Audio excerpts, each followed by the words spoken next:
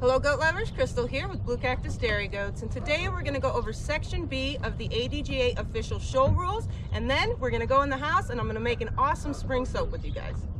Hey guys, just a quick reminder it's 28 days till our first due date, so make sure you're subscribed because you don't want to miss all the baby goats. Alright guys, so today we are going over section B of the ADGA show rules um, and that section is show sanctioning and fees. So fees is obviously uh, pretty pretty easy to figure out what fees are. Um, show sanctioning just means that ADGA did approve the show rules that a club, committee, organization sent in for approval. Alright, so here we go. And Boo apparently wants to help today, don't you, Boo? Do what you got. All right. Number one in section B is all show rules from association must be exactly what was set in for approval for ADGA to sanction and must state ADGA rules shall govern. Now all that means is you have to send in what rules you set up for your show that you want to put on um, and ADGA has to approve them. They have to get these rules and they have to abide by all guidelines. Um, and on your rules, they do have to say ADGA rules shall govern. So number two, um, you do have to send in two copies of all the GOAT classes to ADGA. Now, I'll take a second here just to let you know what a class is. That is literally just an age group of the breed of goat. So, say um, one-year-old under two, two-year-old under three, um, and so forth. So again, you have to send in two copies of all the GOAT classes, um, all other rules of the association, or say club um, that, that is requesting to put on this show. And official show application has to be sent in for approval. So all of these things need to be sent in, and again, two copies of the rules and two copies of the classes. And number three, if there are any changes to the show that has already been approved, um, it must be requested in writing from ADGA. So if you send in your show rules to ADGA and ADGA says, yep, it's sanctioned, they're good to go, and now all of a sudden you want to change some rules, um, you do have to send that in in writing to ADGA for approval, um, unless, let's see, if it is a change in the judge, the show chairperson, or the show secretary, it can be handled with a call if necessary. So like if you're on a strict time frame or something, you need a judge, the show's about to take place in a week, um, you can definitely handle that over the phone. Okay, so number four is, and no later than two weeks in advance to the show, ADGA will send um, the approved show rules to the judge. So in other words, at least two weeks in advance, the ADGA office has to send the official rules to the judge so that they can look them over and just be well versed in what those rules for that particular show are and be ready for it. Okay, so number five is a little bit lengthy in this section, um, and it goes over the fees and so forth, but the postmark date on the envelope uh, determines the cost of the application if two copies of the rules in classes and the cost of the rosettes. Uh, these are rosettes. These are the ribbons that you win. Um, and the cost of the rosettes and full cost of application were included. Um, if anything with the application was incomplete, then the last date of communication is going to determine the cost. So if you send in all of that stuff um, in 30 days, more than 30 days in advance, um, it is a $40 fee.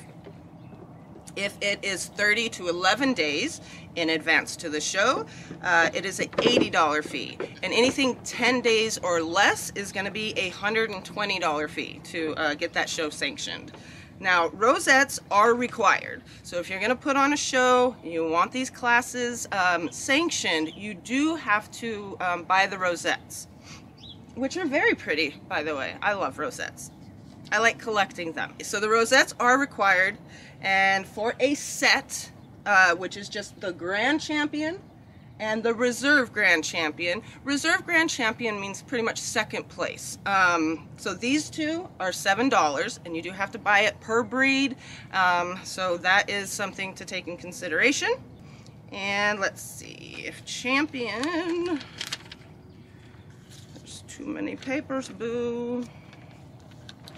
So if you do choose to put on a champion challenge, um, then you do have to buy the best of breed ribbon. So I'll give you an example of what the champion challenge is, um, and it doesn't have to be sanctioned. You don't have to have a champion challenge, but if you do, what that means is you can take a finished champion doe, uh, for instance, May, um, she doesn't have to go through all the different age groups and, and deal with any of that. She is actually going to go in the ring and she will compete against whoever was chosen as the grand champion.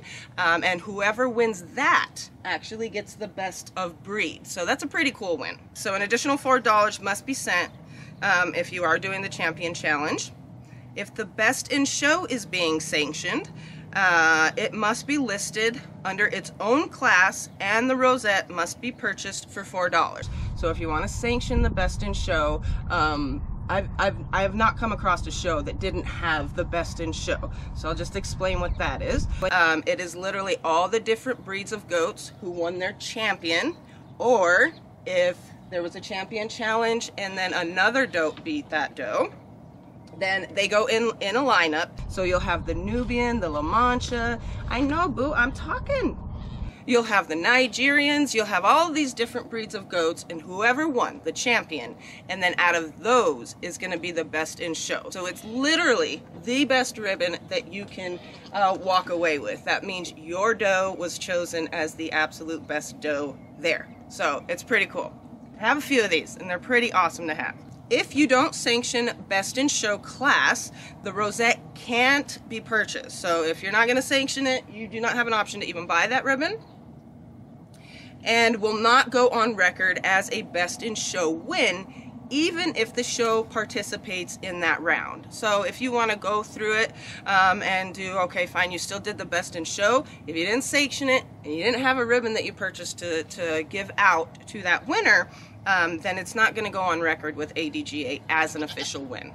Okay, so number six, uh, the base date for figuring out age of an animal is the date of the show um, unless otherwise stated by whoever puts the show on.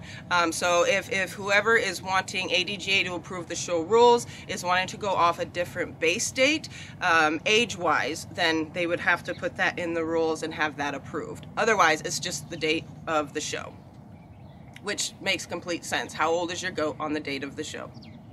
Okay, so number seven, uh, you can't hold two shows at the same time under one judge.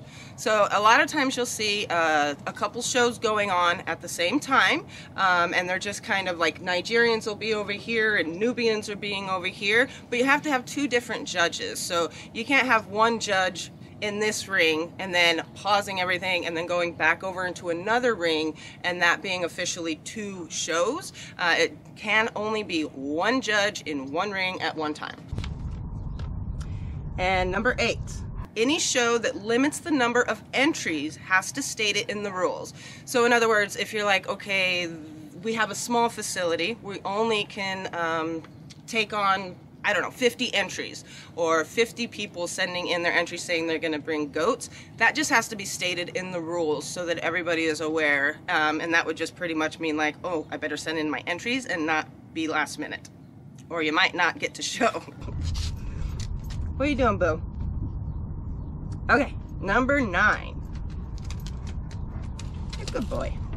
Okay, number nine. Show rule changes approved by the board are effective immediately except for shows already sanctioned to occur before January 1st of the upcoming year. Um, ADGA will announce sanctioned shows as soon as possible and all requests not to list the show will be denied. So in other words, um, ADGA is going to um, put on their website that these are the sanctioned shows and all requests to list the show, to not list the show, will be denied. You cannot hide a show from people. If you are going to put on a show, um, anybody is able to um, exhibit and, and come to that show. You can't just kind of keep it secretive and only these people can come. And lastly, number 10 of section B. Boo, he wants some attention.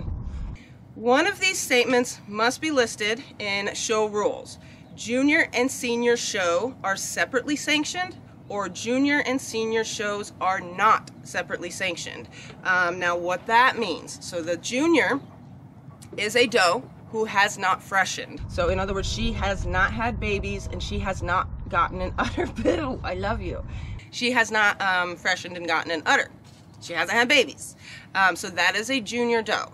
And she could be up to two years old and still show as a junior, but anything beyond that and she hasn't got an udder, she's, she's not allowed to show. Um, and a senior doe is just, again, a doe that has freshened. Now, it might be a one-year-old, that might be a two-year-old, uh, it doesn't matter, but as long, if she has freshened and had babies and has an udder, that makes that doe a senior. So you can sanction a junior show and a senior show separately, uh, just meaning all the juniors are competing against juniors and they aren't competing against the seniors that have udders and, and so forth. Um, or you can put them together. Uh, when you do put them together, you know, uh, it's a little bit harder to win. I'd say for a junior to, to win, obviously, up to a senior who has an udder. Um, an udder is a lot of points um, on on the scorecard, and it counts for a lot. So if you're looking at a junior, she may be beautiful and conformation wise she, she looks awesome but until you get to really see that udder you're not really sure what that doe is made of so that's all that that simply means uh, if they are separately sanctioned or they're not separately sanctioned it just has to be on the show rules so that is it, you guys. Um, as far as the sanctioning and fees on the ADGA official rules. So next time it is Section C, and we're going to be going over rules governing show officials and judges, which this section I find very interesting. So you guys aren't going to want to miss it. Uh, but Boo, should we let those does out to browse now? I think he wants to. Let's go let these goes out, baby. Come on, Boo. oh, the boo's not in here too often, is it? Come here, boy. Come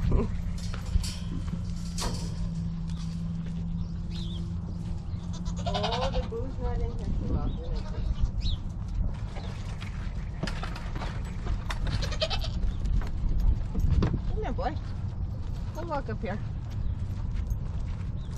Come on, girls. Let's go.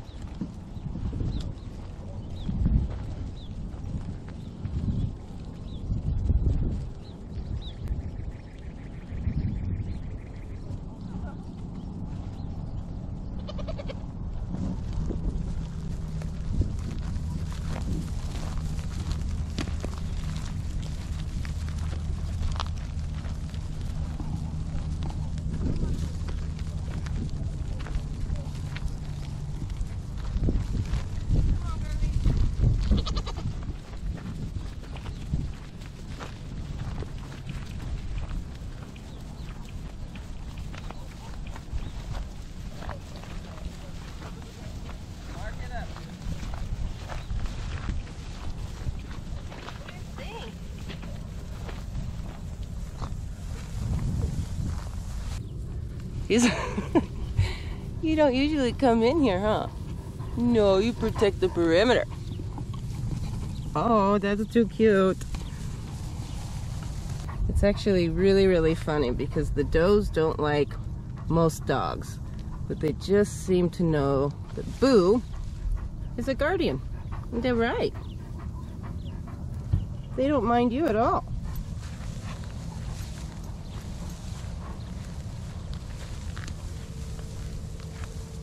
How you girls doing this morning?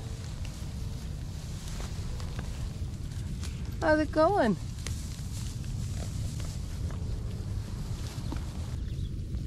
Good morning, Cassie. The girls got let out on new pasture, a new area. So, of course, they go right after these fairy dusters. They seek them out and they find them quite easily actually. They're pretty hidden with no leaves on them. They don't hide from you girls, huh? What we got going on over here, Boo? You hanging out with Lily? Are you? It's alright.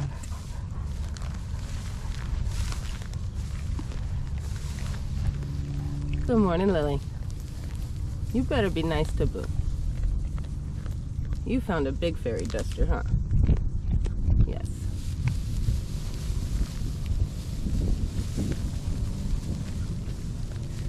Lily is being honored today, huh, Wildy? Jeez Louise. How are you, pretty? She says big and round. Boom, boom, boom. I'm betting five. Where you going, Lit You girls are on the move today, huh? All those show rules made you hungry. Oh, Mia. I love this little girl. Hi, Bessie. Hi, Bessie. Little fluff ball. All right, we're gonna go check out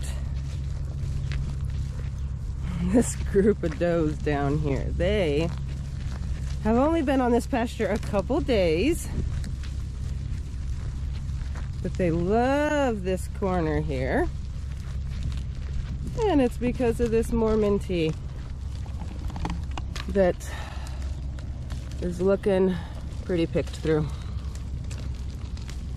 Ain't that right, girls? Oh, man. You gonna get a nibble, May? How are you today, Mayo? You didn't even say hi this morning. Mayo. Hello, Di. Oh, look at you. You look so happy. You're a cutie, Lodi. Angry, but cute.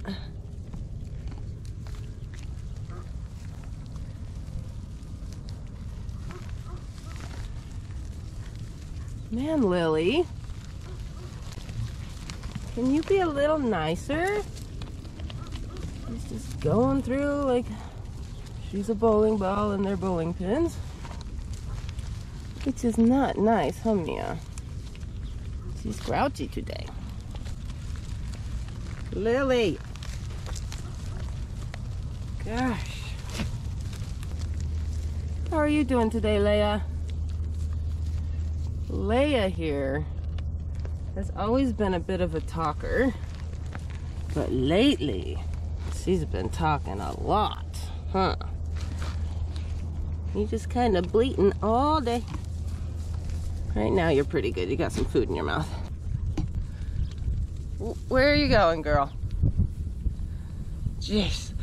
All right, so the girls are out browsing and it is a lovely day for them. Nice cloud cover, no wind so far, and good temps. So we're gonna let them browse and let's get in the house so we can make some cool soap.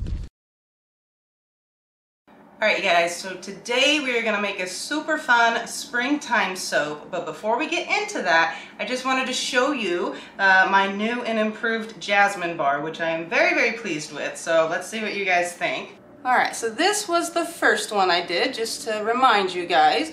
Um, and it is just, it is still the jasmine scent, but I went with kind of the white looking flower and a little bit darker green than I had hoped to get. But the new and improved, which again, I am very, very happy with. So the changes, look at that. I absolutely love it. So it's a much more vibrant green um, and then the blue jasmine here. So anyway, it's a, it's a blue jasmine flower instead of the white. And I just think that blue pops in that yellow so much more. And I did take the, take the hanger swirl in and out a little bit more than the first bar just to give it that kind of, you know, leaves and stem look. So again, just wanted to show you guys that because I am happy, happy with it. So then we're gonna have the white jasmine, which I won't be making again, but it's still an excellent bar, um, and the new and improved blue jasmine, which will be a springtime bar from here on out, because I love it. Okay, so back to the bar that we are going to be making today. Um, this one is really fun because you get to get some piping in um, for the topping, but I'll show you. So this is what the bar looks like. And then the top is just flowers. So this is called our wildflower bar. Uh, it smells wonderful. There are three different essential oils in this bar and it's fun to make and just gorgeous. So this is another one of our springtime bars that I have been busy trying to make. Uh, that way they're ready in spring in just a few weeks. All right, so as usual, we start with our oils. Um, here we have olive oil, coconut oil, castor oil, and shea butter. And I'm going to start by putting in our organic essential oils. Now this is a mixture of pine, um, orange, and ylang ylang. And it might sound a little weird, um, but it does. It smells like you're just walking through a field of wildflowers with the pine trees around you and it's, it's heavenly. It's lovely. So here we go. We're going to start with the essential oil.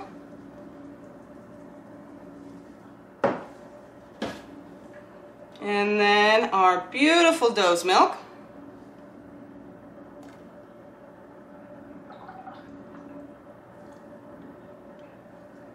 And then we are just going to get this all mixed up until creamy.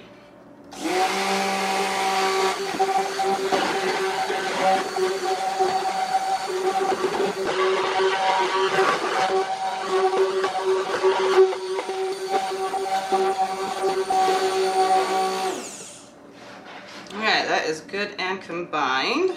Alright, so I'm to get all of this turned into soap because I need five different colors out of it. So we're to add the lye and just mix it until combined. Because we got to mix a lot of the other colors in and we don't want it too thick.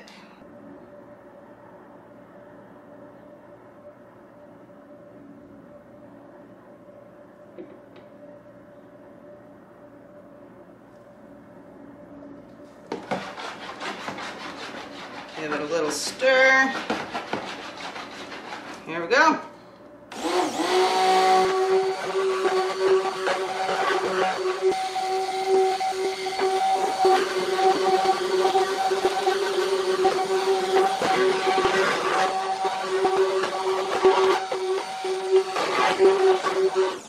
Okay, that is perfect. Get my stick blender out of the way just for a second. Okay, as I mentioned, we got four different uh, colors here, and then the batter is going to be yellow. So first we have purple Brazilian clay, we have the beautiful rose clay, we have our green clay, and then we have our amazing annatto, which is just a tiny bit, uh, but it's going to be a perfect yellow. Alright, so we don't need too much of each color. I'm going to do about two cups of the purple,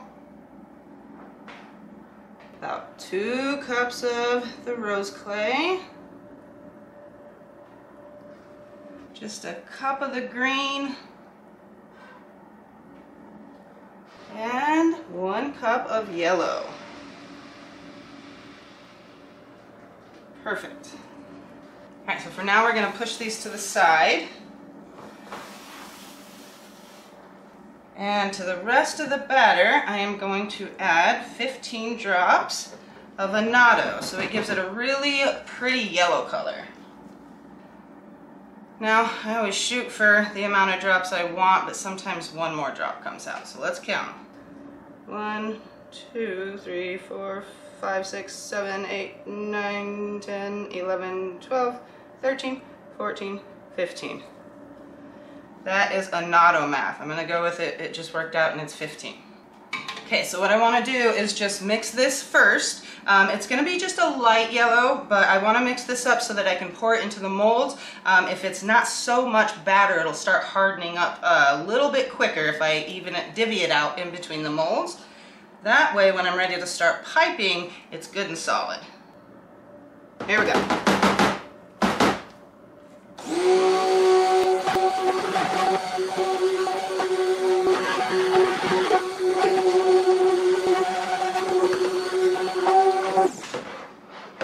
So that is mixed in as far as color is concerned, um, but I will say I'm going to mix it a little bit longer because like I said, I do want that um, bottom portion, this portion in the mold to be a little bit solid by the time I start piping. So I'm going to give it just a little bit longer.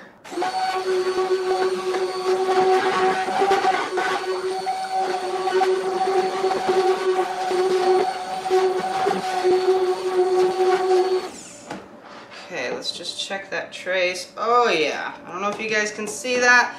This is to a good trace where if you kind of swirl the soap on top, you can see it. You can see it just kind of sitting on the top. So that is perfect. Let's get this in the molds. Okay, we're going for half and half. Just eyeballing it.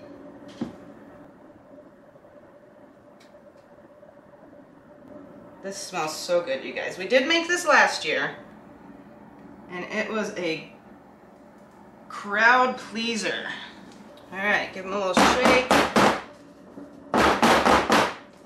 Move these to the side. Okay, now I'm just gonna start blending up my colors here. We'll start with purple. Try to just go to from lightest to darkest. All of these are gonna be pretty light. So with these particular colors, it's not gonna make much of a difference. Here we go.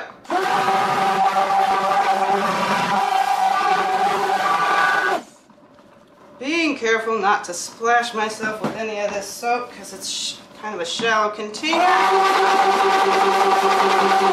And also not mixing too much. You see how thick it's getting on me already, guys.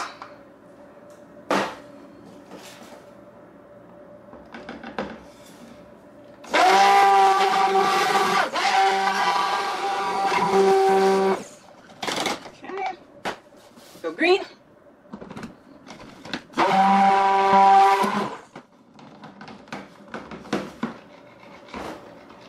I don't want to just keep mixing it, so I'm kind of stirring it here just to get it in there. So, okay, good there. One more.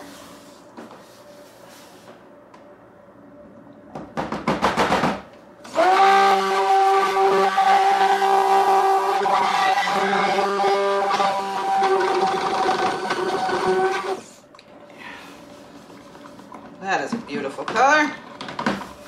Make sure you get down the sides here. A little more blending. Good. Okay, so what I'm gonna do now is pour it into my piping bags. And I also have um, some tips. That way I have a variation of tips that I can use because it's just one tip for these disposable ones. Um, and when I do that, I just use Ziploc bags. So here we go. I gotta make sure the right tip for the right color. Okay, here we got our rose clay.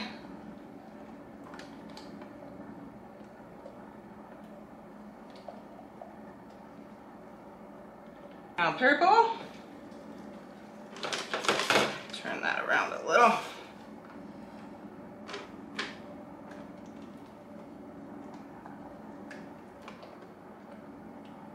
Okay, now green. So these are actually perfect consistency to start piping. So what that's telling me is we better move quick. Okay, just one more. Yellow. The yellow is by far the thickest here, guys.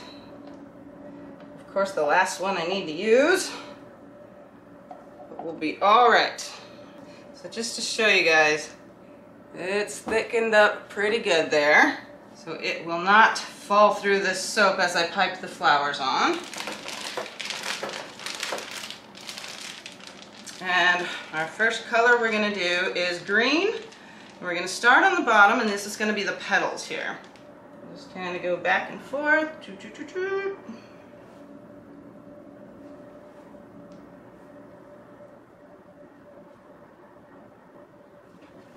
Now we're gonna start again with the petals on the bottom, but I'm gonna try to keep some left over so I can fill in little gaps and also have like green petals on top of in between the flowers here.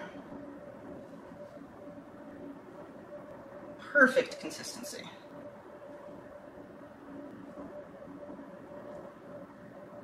Okay.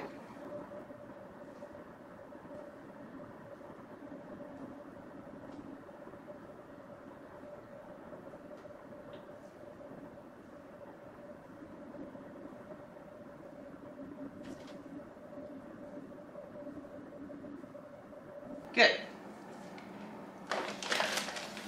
All right, put that green to the side, and now purple or pink, doesn't really matter. So purple's closer to me. Untwist my piping bag, and here we go. Let's see. Flower. Just kind of randomly placing them wherever. So if you cover the leaves, it's okay, or the, yeah, the leaves, sorry. If you cover them, it's okay, because even when you cut it open, you're, you're gonna see all the different colors in there too, so. And like I said, we'll come back and add more green to the top. I don't put too many down on one loaf at first, because I wanna make sure each loaf has a good amount of the same color. Because then I can go back and add a couple if I have extra. Do a little one, little one. All right, let's go a few more flowers over here.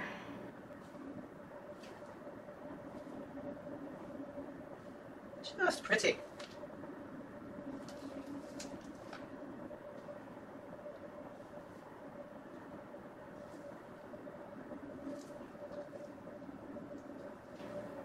Mm, maybe one there. About there. Okay. Wait, I might have just enough for one more. Perfect. Okay, now the rose clay. This is really, really such a beautiful color, and I love that this color does not change through the saponification process. It holds true. Okay, so same thing with this color. Kind of filling in some gaps around here and there.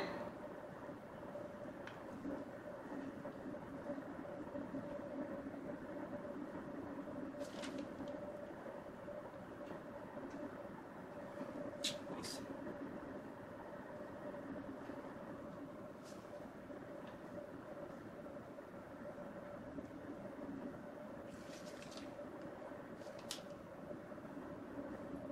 Mm. Ideally, each soap cut is going to have a little of every color.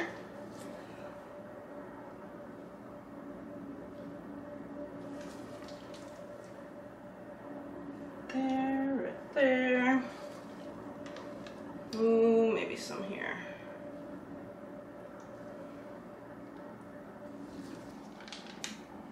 I bet I can get one more flower. Maybe two. Maybe three. Good, we're done. Okay, now the little yellow flowers.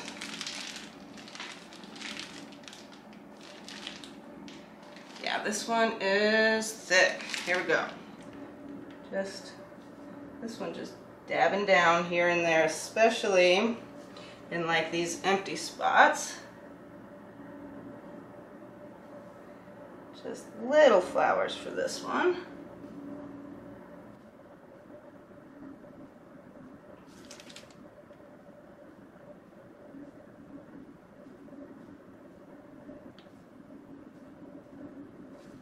Okay. That's so pretty. All right, get over here before I run out. All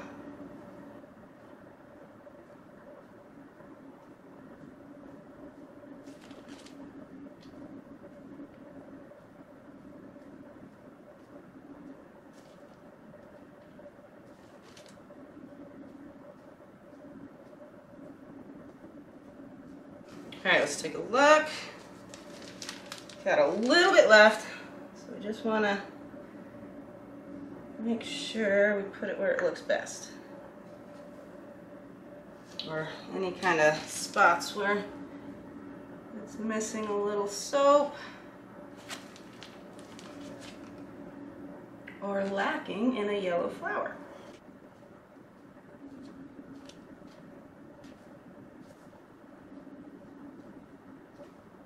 Mm, looking pretty good, but I got more soap here.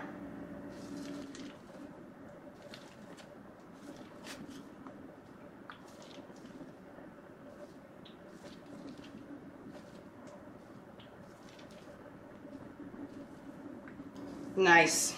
Okay, so now I'm just gonna top her off so that you can see some of the green petals here and there. Again, any gaps is where I'm looking mainly. Here, one second, let me twist this. Just to put some green on top too.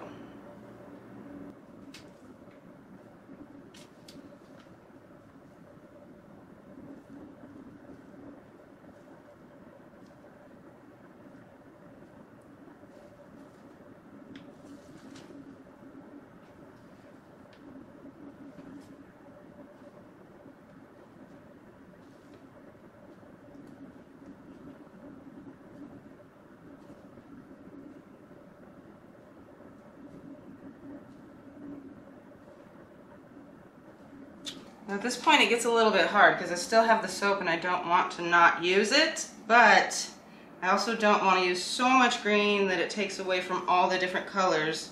And right now I'm feeling like it's looking pretty good. So, okay, one more spot right there. I'll probably find another if I sit here and stare long enough. But, I'm calling it quits right now. Okay. I just think that that is such a beautiful soap. So check it out, guys.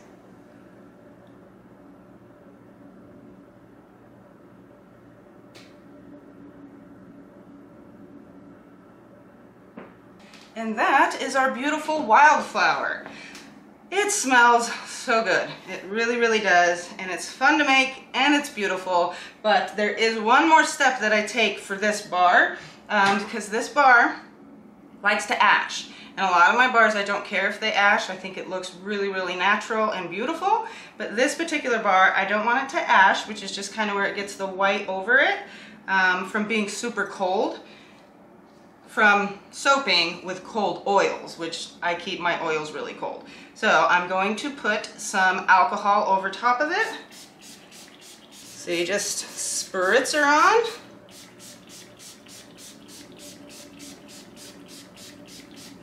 Just like so.